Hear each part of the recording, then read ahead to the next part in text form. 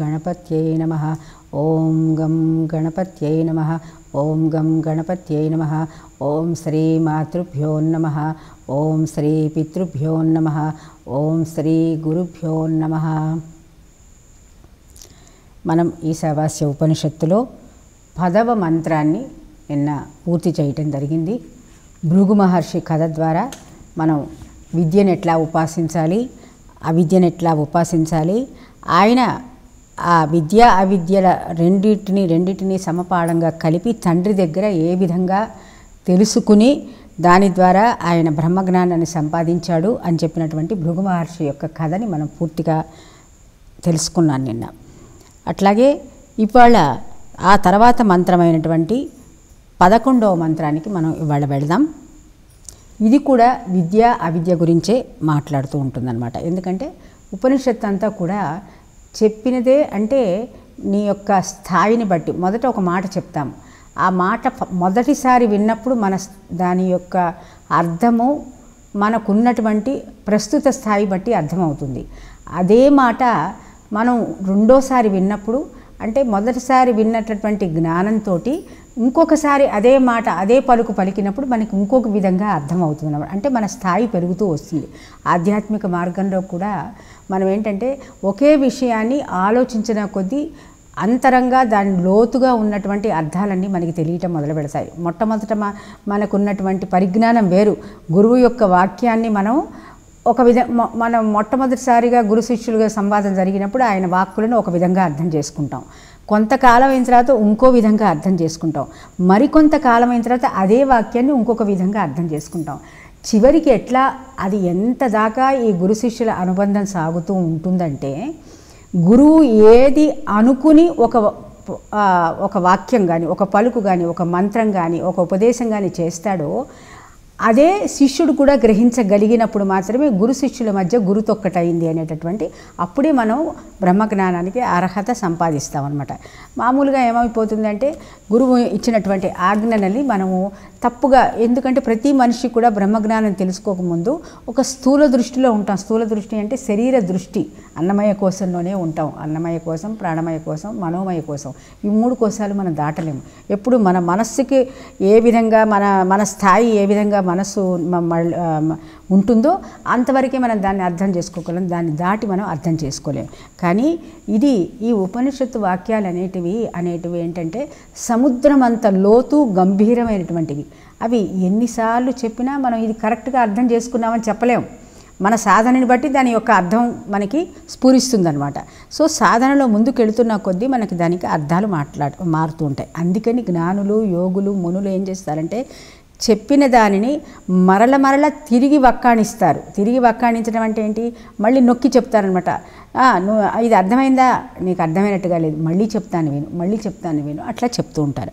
అట్లాగే ఇప్పుడు ఇందులో మళ్ళీ అదే విషయాన్ని విద్యా పదకొండో శ్లోకం కూడా కొద్దిగా తే విడి ఇంకో కొంచెం మార్పు చేసి చెప్తుందనమాట అది ఆ మంత్రం ఏంటో ఇవాళ అందం. మొదటిసారి అనే పలికిన తర్వాత దాని యొక్క అర్థాన్ని మనం తెలుసుకుందాం. అది మీరు అనొచ్చు.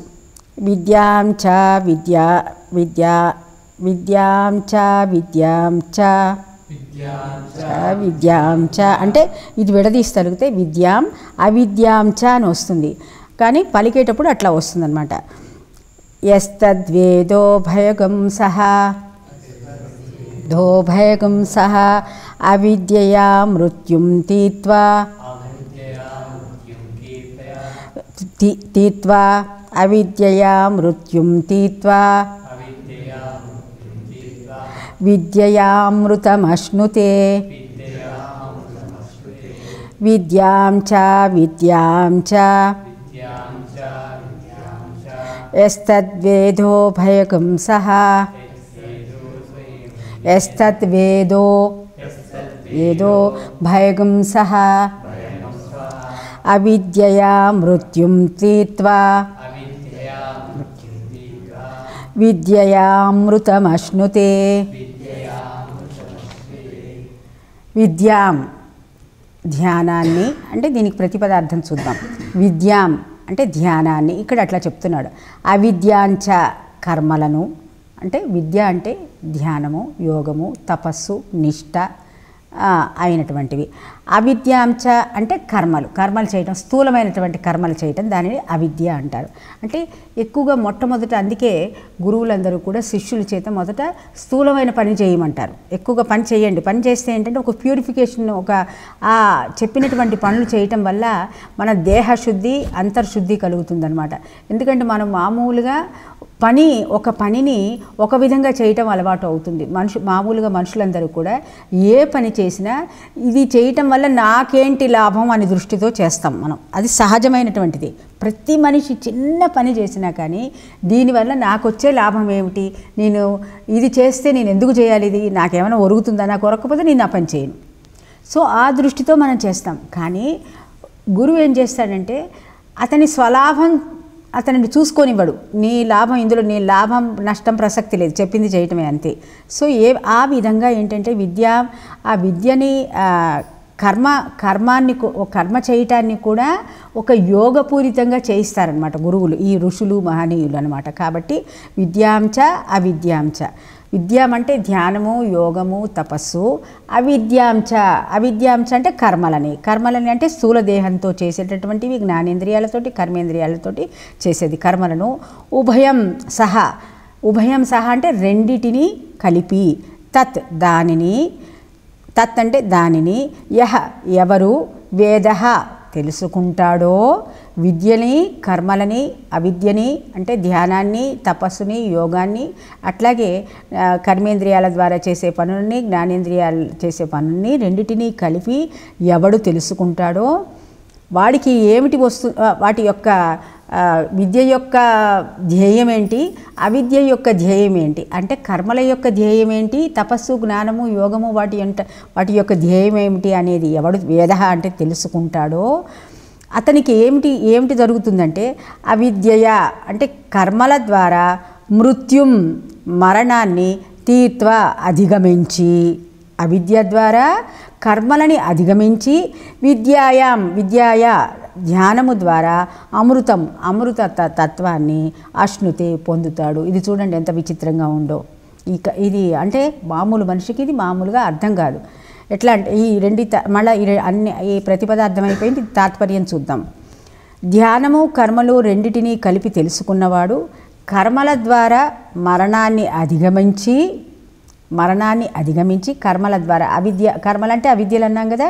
అవిద్యల ద్వారా మరణాన్ని అధిగమించి ధ్యానము ద్వారా అమ అమరత్వాన్ని అమృత తత్వాన్ని పొందుతాడు అ- అమృతమశ్నుతే అంటే మృతము లేనటువంటి విద్య పదవిని పొందుతాడు అని ఇక్కడ ఇది చెప్తోంది. అంటే ఇప్పుడు మనం ఏంటి కర్మలు. కర్మల ద్వారా ఏం ఏం తెలుసుకుంటున్నాడు? మృత్యువుని అధిగమిస్తున్నాడు అంటున్నాడు మరణాన్ని దాటుతున్నాడు మృత్యు అంటే మరణాన్ని దాటుతున్నాడు. విద్యను ఉపాసించటం వల్ల అమరత్వాన్ని పొందుతున్నాడు అని చెప్పి చెప్తున్నాడు.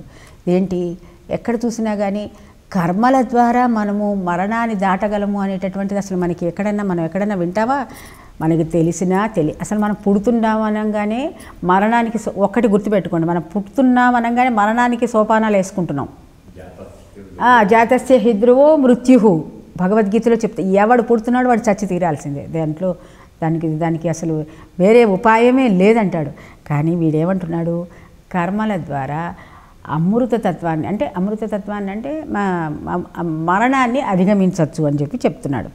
అయితే ఎట్లా? అది ఈ కర్మలు మనం ఎట్లా చేస్తే ఈ యొక్క మరణాన్ని మనం దాటగలము అని చెప్పి మనం ఉపనిషత్తు చెప్తోందనమాట ఎందుకంటే కర్మలని యాక్చువల్గా భగవద్గీతలో కానీ మా భగవద్గీత సంగతి ఇప్పుడు మన ప్రస్తావన చెప్పకూడదు. ఎందుకంటే చెప్ చెప్పుకున్నా భగవద్గీత కంటే కొన్ని వేల కోట్ల సంవత్సరాల కంటే ముందరున్నటువంటివి ఈ ఉపనిషత్తులు. ఉపనిషత్తుల యొక్క సారాంశమే భగవద్గీతలో చెప్పబడింది. ఈ యొక్క వీటన్నిటినీ సమాహారం వీటన్నిటినీ సమాహారంగా చేకూర్చి ఇంకా మా మానవులకి ఇంకా చక్కగా అర్థం కావటానికని భగవద్గీత చెప్పబడింది. అయితే ఈ విద్య అవిద్య అని చెప్పటంలో ఏంటంటే కర్మలని మనం మూడు రకాలుగా ఏ కర్మనైనా మనం మూడు రకాలుగా చెయ్యాలి అని శాస్త్రం చెప్తోంది. కానీ ఇప్పుడు మనం చేస్తున్నవన్నిటివంటివి కూడా కర్మలు అని అనబడవు. వాటిని కర్మలు అని అనబడవు. అవన్నీ కూడా ఏంటి? నిన్ను సంకుచిత తత్వానికి తీసుకెళ్ళేటటువంటి కర్మలు మనం చేసేవన్నీ కూడా. సంకుచిత తత్వానికంటే నిన్ను చిన్నదా చిన్నవాడిగా స్వార్థం. చిన్నవాడిగా చిన్నవాడిగా చిన్నవాడిగా చిన్నవాడిగా మార్చేటటువంటి కర్మలు మనం చేసేవి. అంటే ఇప్పుడు మనం ఎన్ని వేల కోట్లు సంపాదించినా కానీ అవి ఎవరి కోసం సంపాదిస్తున్నావు? అవి నీ కోసమే నీవు సంపాదించినావు అనుకో అప్పుడు ఏంటి నీ యొక్క వైభవము దానికి మాత్రమే పరిమితమై ఉంది సపోజ్ నిజంగానే ఆ మన కోట్లు సంపాదించిన ఆ సంపదని అందరికీ వితరణ చేసి ఇది నాది కాదు ఈ సంపద ఇది అందరికీ చెందినది అనే భావనతోటి నువ్వు అందరికీ పంచావనుకో అది అనంతంగా ఆ యొక్క దాని యొక్క ఫలితము నీకు అనంతంగా మారిపోతుందన్నమాట. అదే నీ కోసమే నీ క నీ సుఖం కోసమే ఒక ఏసీ పెట్టుకున్నావు ఓ కోట్లు సంపాదించుకున్నావు రోజుకు ఒక ప- లక్ష రూపాయలు పట్టుచీర కట్టావు లేకపోతే నగలు వేసుకున్నావు లేకపోతే మేడలు మేడలు కట్టుకున్నావు మిద్దెలు సో ఆ ధనమంతా కూడా దాని యొక్క విలువని పరిమితంగా చేసేస్తున్నాం. చాలా పరిమితమే. ఎందుకంటే నీ యొక్క కేవలం నీ యొక్క ఆనందానికి మాత్రమే అది ఉపయోగపడుతుంది. కానీ అదే దానిని ఒక ఒక వేల మంది కోసం మనం దానిని ఉపయోగించినట్లయితే కనుక అది అనంతతత్వంగా అంటే నీవు మరణాన్ని మళ్ళీ మరణానికి రాకుండా ఉండేటటువంటి ఉపాయాన్ని సూచిస్తుంది అని చెప్పి చెప్తోందనమాట ఉపనిషత్తు. అయితే మనం ఏంటి మనం చేస్తున్నదంతా ఎటువంటి కర్మ చేస్తాం మామూలుగా? మన కోసమే సంపాదిస్తాం. మన ఇంటికి మన కావాలి నా పిల్లలకి నా బిడ్డలకి నా మనవాళ్ళకి నా అల్లుళ్ళకి నాకు నేను శరీరానికి అనుభవించడానికే సంపాదిస్తాం కాబట్టి దీనిని కర్మ అనబడదు. ఇది బంధించేటటువంటి కర్మ అనబ అంటే దీన్ని నిన్ను నిన్ను నువ్వు నువ్వు ముడేసుకుంటున్నావు. అంటే ఈ కర్మ చేయటం వల్ల ఇది నా కోసమే నా కోసమే అని నువ్వు ఎప్పుడైతే అనుకుని అందరికీ ఉన్నది నీవే తీసుకోవటం మొదలు పెడుతున్నావో ఇప్పుడు చూడండి ఒకసారి జాగ్రత్తగా ఆలోచించండి. ఒకడు ఒక రోజు ఒక పూటకి సరిగా అన్నం తినని వాడు కొంతమంది ఉన్నారు. అవునా? కొంతమంది తిని ఒక వన్ వెయ్యి మందికి పనికొచ్చే ఆహారాన్ని ఒకడే తిని అవతల పారేసేవాడు ఉన్నాడు. సో ఎవడెక్కువ పాపం చేస్తున్నాడు ఇక్కడ? తను తినగి తిన ఒక వెయ్యి మంది ఆహారం తీసుకుని తింటు తింటున్నట్టుగా ఉండి అది అవతల పారేసేవాడు ఎక్కువ పాపం చేస్తున్నట్టు లెక్క. ఆహారం లేనివాడి కంటే కూడా దాన్ని వృధాగా చేసేవాడు ఎక్కువగా పాపం చేస్తున్నాడు. సో ఎవడైతే ఎక్కువగా పాపం చేస్తున్నాడో వాడు ఏమవుతున్నాడు అంధత్తమ ప్రవిశంతి అంధకార బంధురమైనటువంటి లోకాలకి వెళ్ళిపోతాడు వాడు. కాబట్టి ధనము ధాన్యము ఎంత విభవము ఎంత విభవము కలిగిన అంతయును ఆపదని అన్నమయ్య అన్నమయ్య చెప్తాడు. నీకు ఎంత వైభవం ఉంటే అంత నీకు ఆపదని తెలుసుకో. ఆపద కాకుండా మారాలి అంటే ఆ సంపదని అందరి కోసం వాడాలి. కేవలం నీ యొక్క తృప్తి కోసం నీ యొక్క వాంఛల కోసం దానిని వాడటానికి. వాడితే నువ్వు మళ్ళీ నీ కర్మలు మళ్ళీ పుట్టడం చావటం పుట్టడం చావటం నువ్వు వా- దాంట్లోకి వెళ్ళిపోతావు. అమరత్వాన్ని నువ్వు పొందలేవు. అయితే ఇక్కడ సరే ఈ ఈ ఉపనిషత్తు ఏం చెప్తుందంటే కర్మలు ఒక కర్మ చేసేటప్పుడు దానిని మూడు విధాలుగా చేస్తే గనక నువ్వు మరణాన్ని అధిగమించవచ్చు. ఆ మూడు విధాలు ఏంటి అంటే ఒకటి కర్మని యోగస్థ కురు కర్మ అని భగవద్గీతలో చెప్తాడు. భగవద్గీతలో చెప్పా అంటే ఈ ఉపనిషత్తు వాక్యాలే ఆయన కూడా భ- కృష్ణ భగవాన్ కూడా చెప్పాడు. కర్మని భగవద్దత్తంగా భగవంతుడి మీద దృష్టి పెట్టి చెయ్యి. నువ్వు చేసేటప్పుడు ఏ కర్మ చేసినా ఈ ఈశావాస్యం ఇదగం సర్వం అంటే ఈ ప్రపంచం మొత్తం కనిపిస్తున్నటువంటి స్థూలమైన ప్రపంచం కూ- మొత్తం కూడా కనపడని కాన్షియస్నెస్ కాన్షియస్నెస్ అంటే కనపడని ప్రజ్ఞతో నింపబడి ఉండి ఆ ప్రజ్ఞని నిన్ను నిన్ను ఎల్లవేళలా గమనిస్తున్నదని తెలుసుకుని నువ్వు కర్మ చెయ్యి. అంటే ఎప్పుడు నీ దృష్టి ఆ యొక్క ప్రజ్ఞ మీద పెట్టి నీ ఆ యొక్క ప్రజ్ఞ నీలో ఎక్కడ ఉంటుంది? మనలో ఆ ప్రజ్ఞ మన సహస్రారంలో ఉంటుంది. ఎందుకంటే ఈ సహస్రారం తర్వాత నుంచి ఇప్పుడు చూడు కిందకి కిందకి కిందకి దిగుతుందనమాట ఆ ప్రజ్ఞ. ఏ విధంగా సూర్యుడి దగ్గర నుంచి సూర్యకిరణాలు కింద కిందకి వచ్చి భూమండలానికి తాకినప్పుడు అది తమోగుణంగా చీకటిగా మారిపోతున్నదో అక్కడ సూర్యుడు ప్రకాశిస్తున్నా కానీ భూమి ఆ, అంతరాళాల్లోకి మనం భూమి తవ్వినా కొద్దీ చీకటిమయం అయిపోతుందనమాట సో కాబట్టి ఈ ఇక్కడి నుంచి అది మెల్లమెల్లగా దిగుతూ ఈ సహస్రారం నుంచి దిగుతూ దిగుతూ వచ్చినప్పుడు అది మనని స్వార్థపూరితమైనటువంటి కర్మలు చేసేటటువంటి విధంగా మార్పు చెందుతుంది. కాబట్టి ఏంటంటే జ్ఞానులు ఏం చేస్తారంటే ఈ ఉపరితలంలో ఉన్నటువంటి దృష్టి తన దృ తన యోగ మార్గం ద్వారా యోగస్థ కురుకర్మాణి అన్నాం కదా యోగ మార్గం ద్వారా తన దృష్టిని నిగడించి సహస్రారానికి ఎక్కుపెట్టి ఎక్కుబెట్టి వాళ్ళు కర్మలు చేస్తారనమాట అట్లా కర్మలు కనుక చేసినట్లయితే ఈ కర్మలు నిన్ను బంధించవు. అటువంటి కర్మలు ఎప్పుడూ కూడా అట్- ఎప్పుడైతే మనం ఆ భరవ భగవంతుడి దృష్టితో భగవంతుడి భగవంతుడు నన్ను చూస్తున్నాడు అన్నప్పుడు మనం అబద్ధం ఆడటానికి వీల్లేదు తప్పుడు పనులు చేయటానికి వీల్లేదు ఇంకోటిది గుంజుకు తినటానికి వీల్లేదు ఇంకో జీవిని బాధ పెట్టడానికి వీల్లేదు. సో మనం ఎంత ఎంతసేపు చేసిన కర్మ అంతా కూడా నైష్కర్మ్యంగా నైష్కర్మ్యంగా అంటే కర్మ నుంచి మనం బంధాల నుంచి విముక్తి చేసే విధంగా మారుతుంది. సో ఈ కర్మ దీనికి ఈ మూడు చెప్పిన తర్వాత మీకు మళ్ళీ దానికి దానికి సంబంధించిన బాగా అర్థం కావడానికి చిన్న చిన్న కథలు చెప్తాను. రెండోది ఏది మనకి ప్రపంచంలో దొరికినా యాక్స్ దానిని ఒక ప్రసాద బుద్ధితో స్వీకరించు. సో మొట్టమొదటిది ఏంటి? కర్మని చేసేటప్పుడు భగవంతుడి మీద దృష్టి పెట్టు. అంటే యోగస్థుడవై కర్మని చెయ్యి. నీ దృష్టిని పరమాత్మ ఎందు నిలిపి కర్మ చేసినప్పుడు ఆ కర్మ ఫలితాలు నిన్ను అంటవు. ఇది ఒక ఉపాయం. రెండో ఉపాయం ఏమిటి? నీకు ఏది లభించినా ప్రసాద బుద్ధితో స్వీకరించు. ప్రసాద బుద్ధితో స్వీకరించు అంటే మానవమానాలు. సపోజ్ ఒకరోజేమో నిన్ను గురువుగారు మంచిగా మెచ్చుకుని అమ్మ నువ్వు బాగా చేసావురా తల్లి చక్కగా చేసావని అంటాడు. రెండో రోజు నీకు బుద్ధి లేదా? ఇటువంటి పని చేసావేమిటి? ఏమ్మా నీవేంటి గడి అన్నం తింటున్నావు? గడి తింటున్నావు? ఇట్లా చేసావు? అన్నాడు అనుకో రెండిటిని సమానంగా తీసుకోగలగాలి మనం. ఇది ఫస్ట్ ట్రైనింగ్ ఉంటుంది ఇక్కడ. ఎప్పుడైనా సరే రెండింటిని మనకి అవమానం ఈవెన్ గురువులకు కూడా పెద్ద పెద్ద అవమానాలు జరుగుతాయి. కానీ వాళ్ళు ఆ అవమానాలని పక్కన పెట్టి పనిచేస్తూ ఉంటారు అనమాట సో మనం ఏంటి అవమానం రాగానే కుంచుకుపోతాం "ఆ, ఇంకా మనం అక్కడ పోము. ఆ తావు మనది కాదు. మన మన ఇష్టం వచ్చినట్టు వాళ్ళు మాట్లాడుతున్నారు. కాబట్టి మనకి గౌరవం లేని చోట మనం ఎందుకు వెళ్ళాలి? అని మానేస్తాం. అది కాదు ఇక్కడ. యాక్సెప్ట్ వాట్ ఈస్ గివెన్ అంటే నీకు ఏది దొరికినా ఈ ప్రపంచంలో ఏది దొరికినా అది ఆ ఈశుడు యొక్క ఆ పరమాత్ముడి యొక్క ప్రసాదం కింద తీసుకో. ఆయన ఇచ్చిందిగా. ఎందుకంటే ఈ కనపడే ప్రపంచం అంతా కనపడని దైవంతో ఆవరింపబడిందిగో ఉంది కాబట్టి ఆ దైవమే అది నీకు ఇస్తున్నాడని తెలుసుకో. ఇచ్చినప్పుడు అది ప్రసా దైవం దగ్గర నుంచి తీసుకునేదంతా కూడా ప్రసాదమే కదండి. మనం మన అది ప్రసాదంగా మారిపోతుంది పవిత్రంగా మారిపోతుంది. అట్లా దానిని ఆ విధంగా నువ్వు కూడా కర్మ చేసిన అటువంటి కర్మ చేసినప్పుడు కూడా నీకు దా- అది బంధించదు. ఇక మూడో రకం ఏంటంటే కర్మఫల త్యాగం. కర్మఫల త్యాగం అంటే ఏంటి? ఏ క అంటే ఇప్పుడు ఎటువంటి ఫలితం ఇచ్చినా కానీ అది బ్రహ్మార్పణం. ఇది పరమాత్ముడి కోసం ఈ ఈ ఫలవని ఈ ఫలాన్ని బ్ర పరమాత్ముడికి అర్పిస్తున్నాను. ఏది వచ్చినా కానీ కృష్ణార్పణమస్తు రామార్పణమస్తు అంటూ ఉంటారు చాలామంది.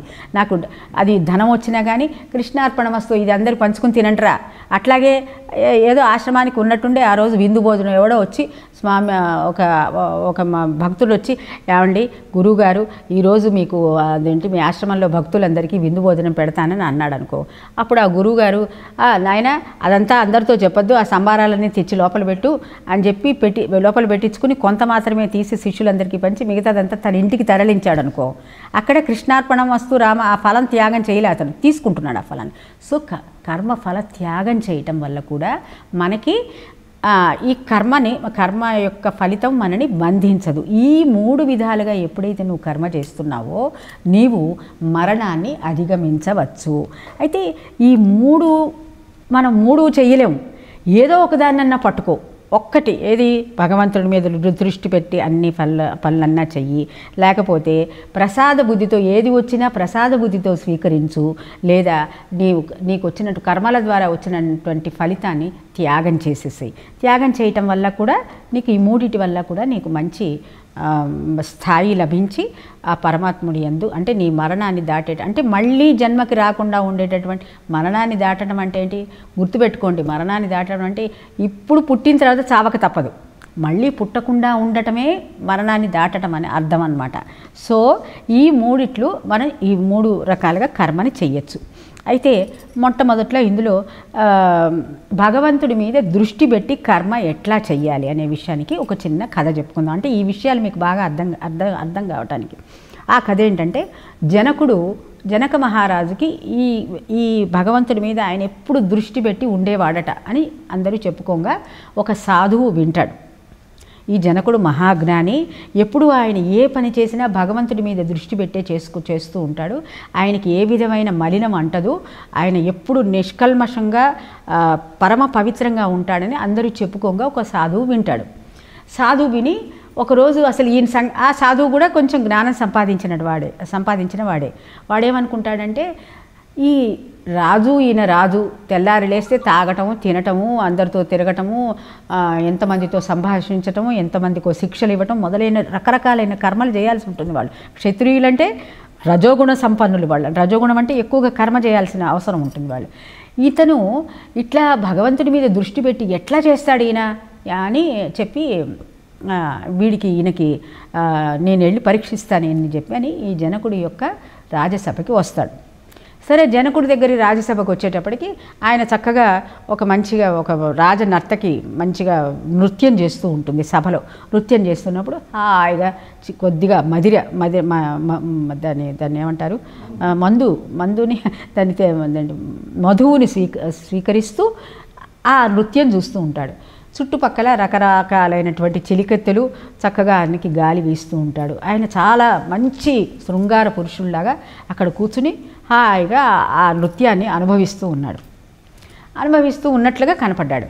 ఈ సాధువు అప్పుడే ఈ సభ దగ్గరికి వచ్చాడు. స- సభ దగ్గరికి వచ్చి మృత్యులు లోపలికి తీసుకొస్తారు. వీడు నిన్ను అర్జెంటుగా చూడాలంటున్నాడు. జనరల్గా అటువంటి టైంలో రాజును చూడటానికి ఎవరిని అనుమతించరు.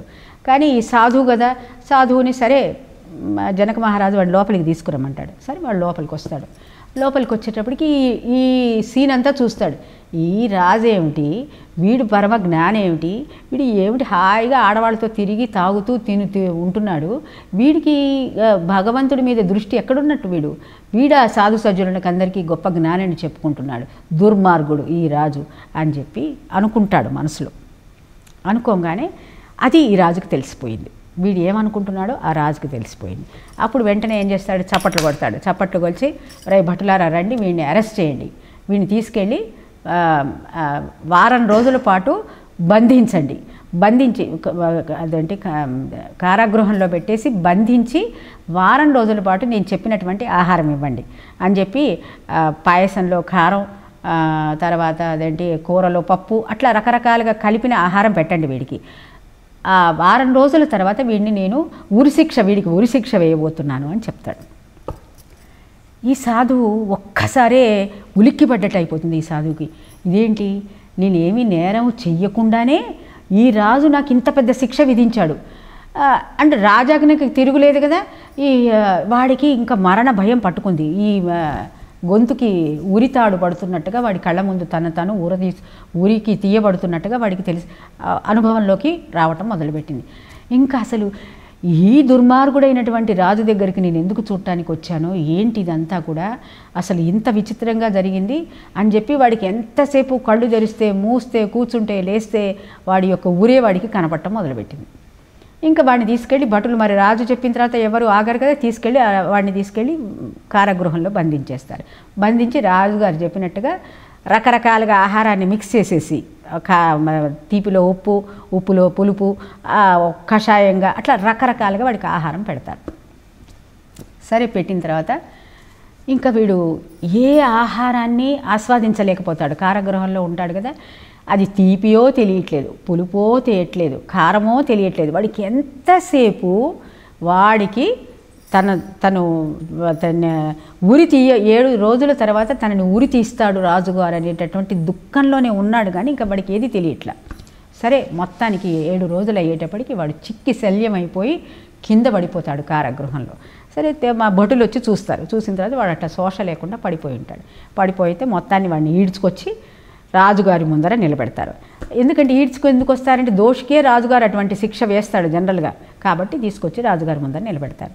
రాజుగారి ముందర నిలబెట్టేటప్పటికి అప్పుడు రాజు ఏం చేస్తాడు ఈ దుర్మార్గుడికి కొద్దిగా పాలు పంచదార ఇవ్వండి. ఇచ్చిన తర్వాత అప్పుడు నేను వీడితో మాట్లాడతాను వాడికి కొద్దిగా సోయ వస్తుంది అప్పుడు మాట్లాడతానంటాడు. సో అప్పుడే వెంటనే భటులు వెళ్ళి కాస్త పాలు పంచదార తీసుకొచ్చి వాడి నోట్లో బలవంతంగా పోస్తారు. పోసి వాడిని అటు ఇటు చన్నీళ్ళతోటి కొట్టిన తర్వాత వాడు మెల్లగా లేచి కూర్చుంటాడు. ఆ సాధువు లేచి కూర్చుంటాడు. అలా లేచి కూర్చున్న తర్వాత సరే మొట్టమొదటి రాజుగారు ఏమడుగుతారంటే సరే లేచావు కదా ఎలా ఉంది నీ కారాగృహ అనుభవం? అన్నాడు. అంటే అంటే ఈ సాధువు అంటాడు కదా నాకు ఒకటే అనుభవం ఉంటుంది రాజా. అదేంటంటే ఈ నిన్ను ఇంకా నేను ఉరి తీయలేదు. అది నీ అనుభవంలోకి ఎట్లా వచ్చింది?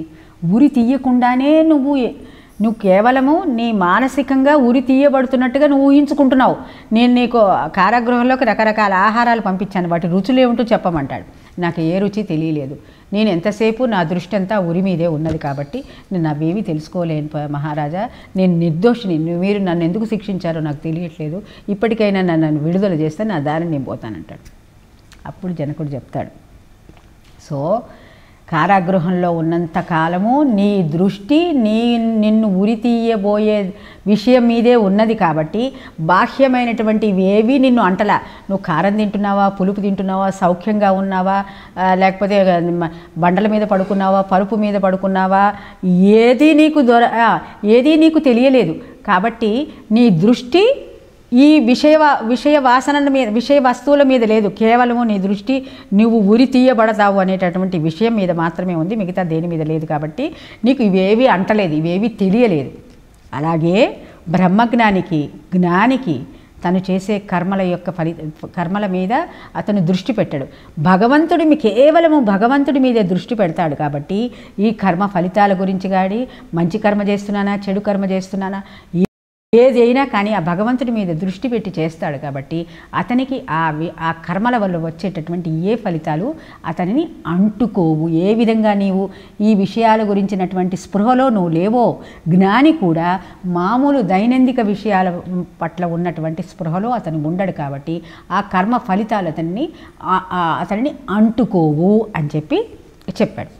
చెప్పేటప్పటికి అప్పుడు వీడికి అని చెప్పి నీవు రాగానే ఏమన్నావంటే ఏమనుకున్నావంటే ఈ రాజు ఇన్ని భోగభాగ్యాల మ- మధ్య ఉండి ఎట్లా భగవంతుడి మీద దృష్టి నిలుపుతాడు అని నీ మనసులో ఒక విధమైనటువంటి ఆలోచన వచ్చింది. ఆ ఆలోచనకి సమాధానంగా మాత్రమే నిన్ను శిక్షించడం జరిగింది. ఇట్లా తీవ్రంగా నిన్ను గనక శిక్షించకపోతే దాని యొక్క దాని యొక్క నువ్వు అనుకున్న దాని యొక్క విశేషం ఏమిటో నీకు అర్థం కాదు. జ్ఞానులు ఎట్లా మా అంతర్దృష్టిలో ఎట్లా భగవంతుడి ఎందు దృష్టి పెట్టి పెట్టి పని చేస్తారో మామూలు వ్యక్తులు ఎవరికీ తెలియదు.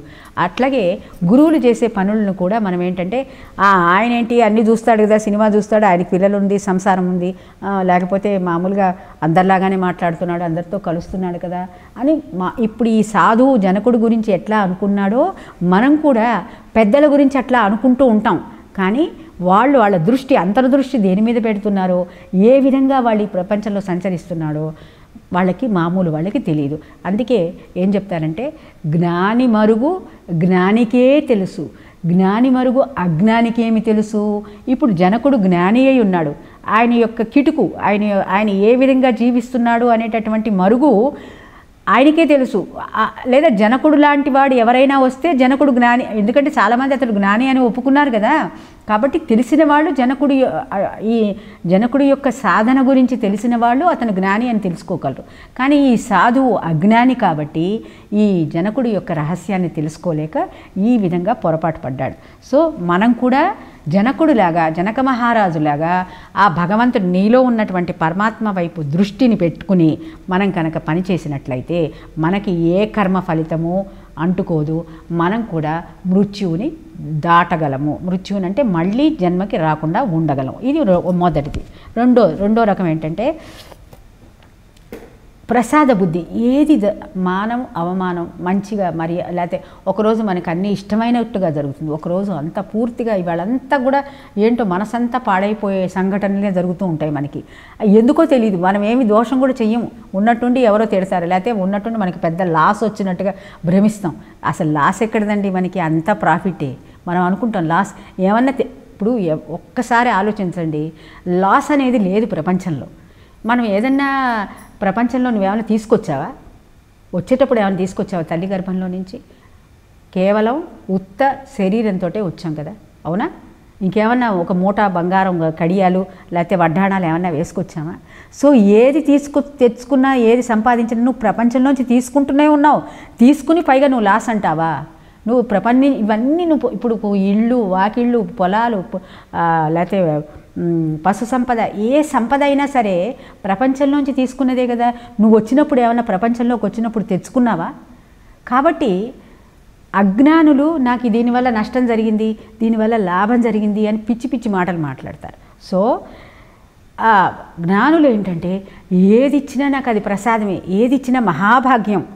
మనం చూడు అంతా మనకి ప్ర అదంటే ప్రసాదం ఇచ్చేటప్పుడు కూడా ఒకప్పుడు మన చేతికి ఒకళ్ళకి పెట్టేటప్పుడు మంచిగా వస్తుంది. ఒకళ్ళకి పెట్టేటప్పటికి సరిగా ఏదో పండు పాడైపోయిందో కుళ్ళిపోయిందో వస్తుంది. రాగానే మనకు అనిపిస్తుంది గురుగారు వాడికైతే మంచి పండు ఇచ్చాడు నాకైతే ఇట్లాంటిది ఇచ్చాడు అని మనకు ఒక మానవ దృష్టి అట్లా ఉంటుంది. కానీ ఈ భగవంతుణ్ణి తెలుసుకున్న వాళ్ళు జ్ఞానులు ఏం చేస్తారంటే జ్ఞానులు కర్మ ఎట్లా చేస్తారంటే ఆ కర్మ ఫలితం ఏది వచ్చినా ఎట్లా వచ్చినా అది ప్రసాద బుద్ధితో స్వీకరించి ఆ ఫలితాన్ని వాళ్ళు అంటి పెట్టుకుని ఉండరు. దీనికి ఇంకొక కథ ఉంది. ఆ కథ తెలుసుకుంటే మనం ఆ ప్రసాద బుద్ధిగా మనం ఎట్లా ఉండాలో తెలుసుకోగలం. అది మనం రేపు చెప్పుకుందాం. ఇవాళ ఇంతటితో ఈ కథతో ముగిద్దాం. సో ఈ- శ్లో మంత్రంలో చెప్పినటువంటిది మళ్ళీ దాని తాత్పర్యం ఒక్కసారి పలికి ధ్యానము కర్మలు రెంటినీ కలిపి తెలుసుకున్నవాడు కర్మల ద్వారా మరణాన్ని అధిగమించి ధ్యానం ద్వారా అమరత్వాన్ని పొందుతాడు. దానికి సంబంధించి మనం కథ కథ మొదటి కథ పూర్తి చేసుకున్నాం. రెండోది ప్రసాద బుద్ధి గురించినటువంటి కథ రేపు చెప్పుకుందాం. స్వస్తి ప్రజాభ్య పరిపాలయంతాం న్యాయేన మార్గేణ మహిమహిష. గోబ్రాహ్మణేభ్య శుభమస్తు నిత్యం. లోకా సమస్త సుఖినో భవంతు. ఓం శాంతి శాంతి శాంతి.